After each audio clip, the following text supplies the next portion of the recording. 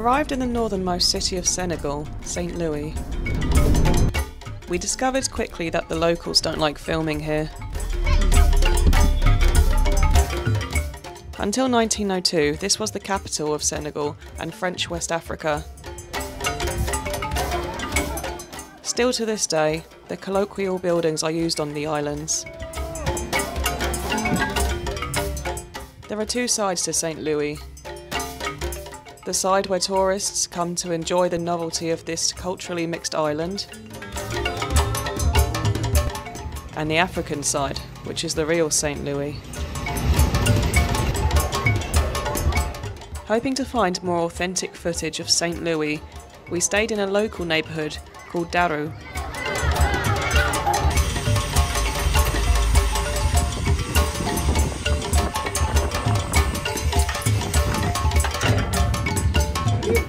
The area was comprised of a few shops and sellers. Everyone in the street was selling, buying, carrying, or cooking. If you're lucky, you would be going to school. Even at night, the streets was lively.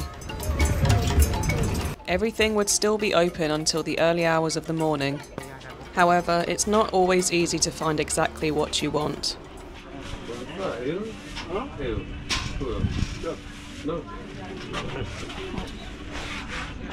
Oh, here is not extra yogurt because difficult to find sometimes even water, but mostly times cold water. You know, in the fridge they don't put many times fridge. We felt generally safe whilst walking around at night. Despite probably being the only foreigners in the whole area.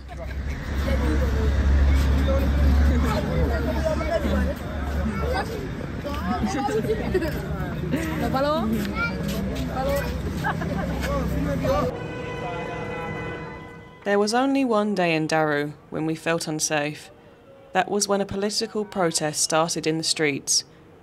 We were advised to not go outside at all on that day.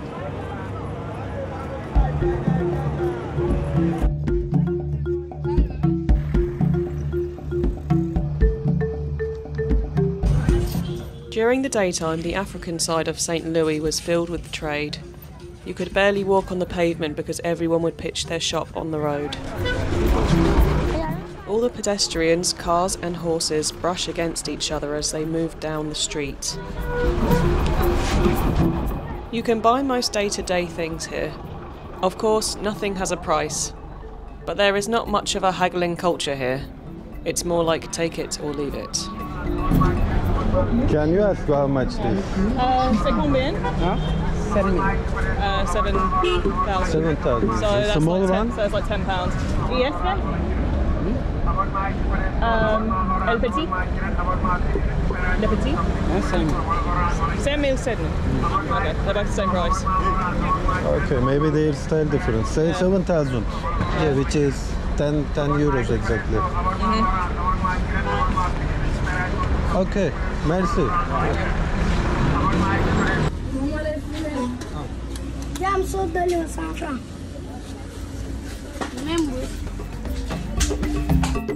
The abundant corner shops are the best place to buy groceries, but there is a very limited choice.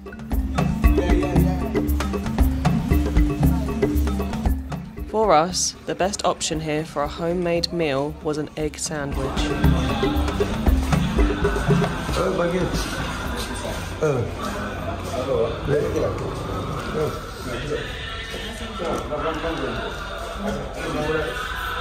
Yeah. Zizu. Merci Zizu. How much the baguette? This one was 200, which is the same as the other shop. So 200 franc, which is about like 30 cents or something like that. But it's a nice baguette. We usually had to go to multiple shops to find all the ingredients. Um, œuf, c'est combien? hein? C'est combien c'est? C'est combien?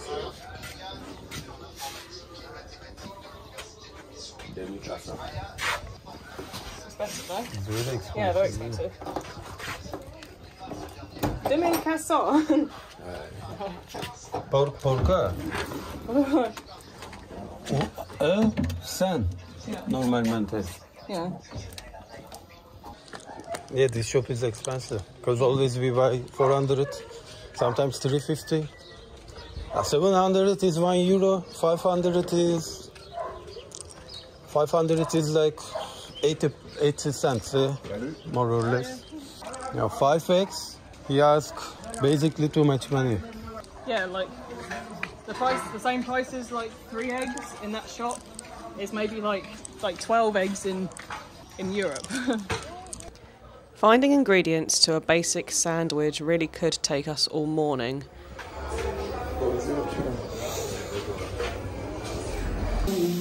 This was our go to local restaurant for something quick to eat for a cheap price. So that things is around 70 cents, 80 cents. Omelette and spaghetti. but it has seasoning, um, it has salt, and a bit of sauce. So um, it's not terrible for 70 cents. I think it's worth it.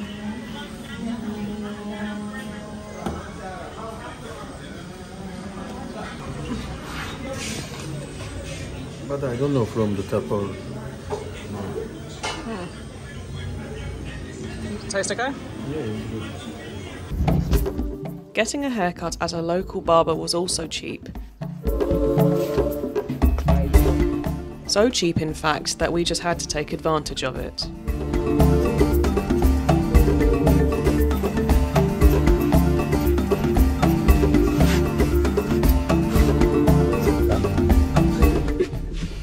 How much? 500. Abu Lahori. Oye, mimi wayale mari. Ah, Wow. yeah, it's good. There is a fish market where you can pick up all kinds of things for local prices. The fish comes straight from the sea where it gets gutted on the floor before being sold.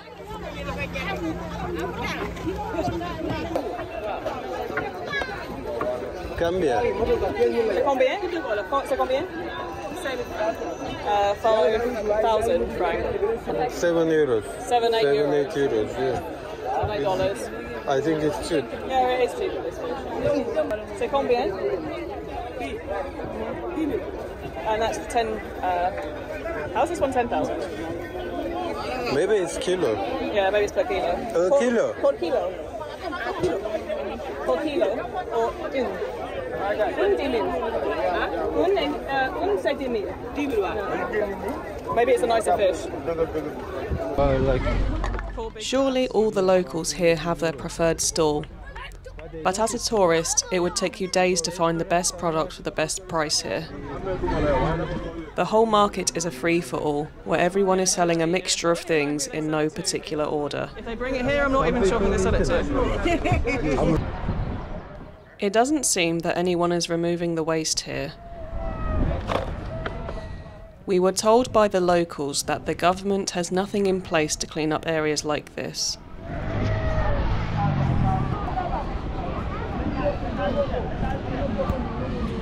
here is the sea coast. And we have sunset now. Here is Atlantic Ocean. It's not exactly a beach that I think Westerners would want to come and relax on.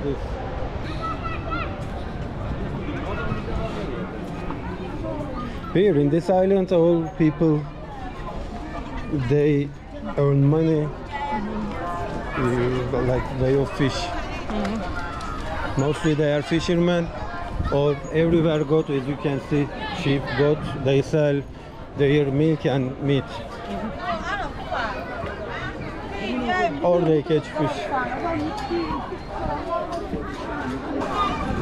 So here they use like this is like a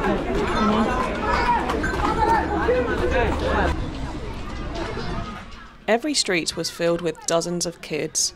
For every adult, there must have been 10 children. Oh, they play that game. So marbles is like a popular. It is.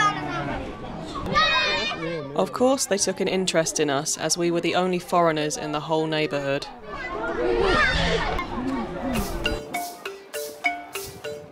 The African side of St. Louis is for living.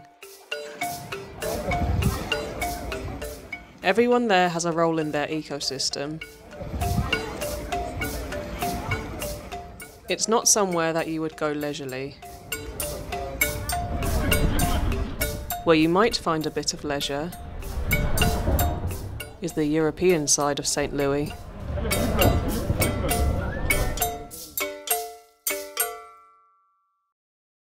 Coming up in the next episode, How much? This the normal price is 35. we see the sellers who are just targeting tourists. We see what a high end meal looks like. We hang around with the locals and compare the difference in the European side.